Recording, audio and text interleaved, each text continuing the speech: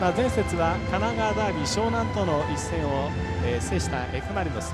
で一方グランパスの方はですね戦えるっていうところを鹿島戦で見せましたね。見せましたね。見せましたね。あの戦いましたね。やっぱりあのしぶとさとか、えー、たくましさっていうものがこのあの補強選手たちによって、はい、こうガラリとこう変わってきた。全く別のあのチームに変わってきたっていう印象です、本当そう思います、はい。今日のエンフマリノスのメンバーとフォーメーションをご紹介しています、えー、今日は3バック。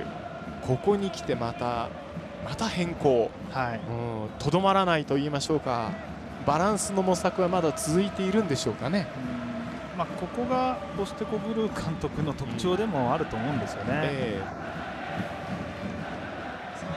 グランパスのですね、はい、えー、前目のやり方に対してこの3バックっていうのはどうなのかなっていうのが僕はちょっと疑問なんですけども。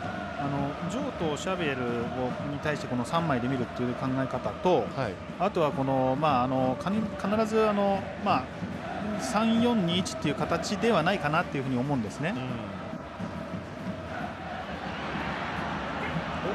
うん、いい形で入れるか松原のクロスそれほどフリーにはなったんですがスピードを持って入りません。さあここはどうでしょうか？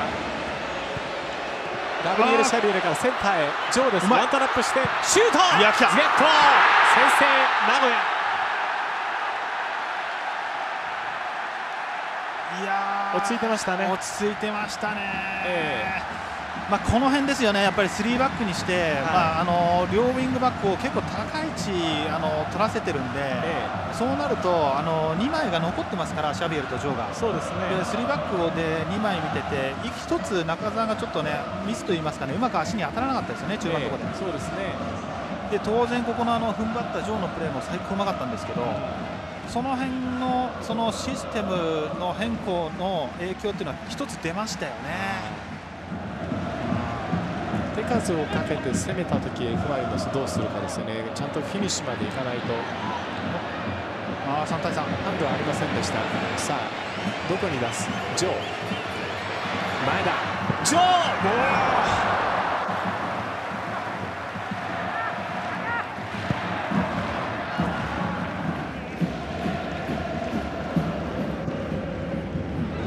山田中に入れていました。こういうボールがもっと欲しいですね。シュートこういうボールが入るがですねウーゴ・ビエラからのシュートっていうのは生まれてくるわけですよね。生まれますね、えー、あそこでこう打開するだけの力は十分に彼はありますので、はい、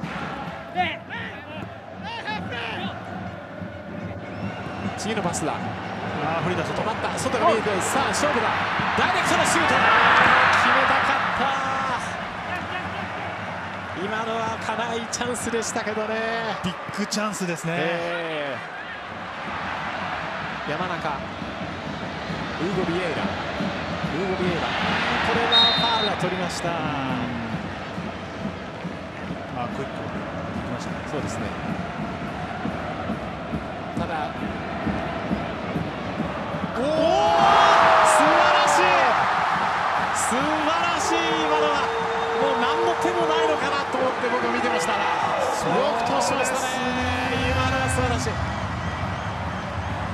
しょう。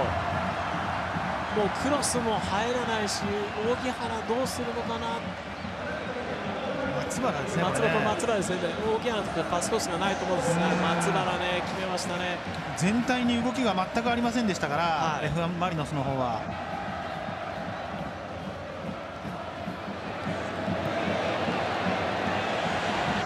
チャンスだ。シュートレンジ。いや決めてたら素晴らしいミドルレンジ。抑えの効いたシュートだったんですが山田浩太です。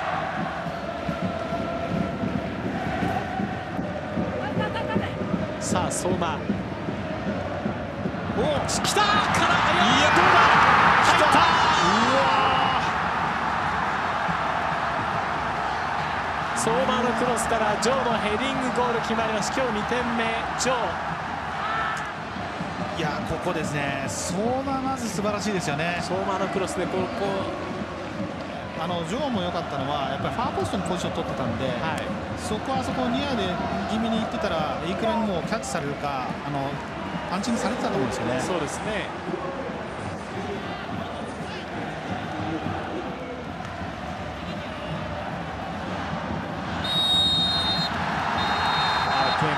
タイムアップ。やグランパス今日も勝ってこれで4連勝です。5戦負けなし。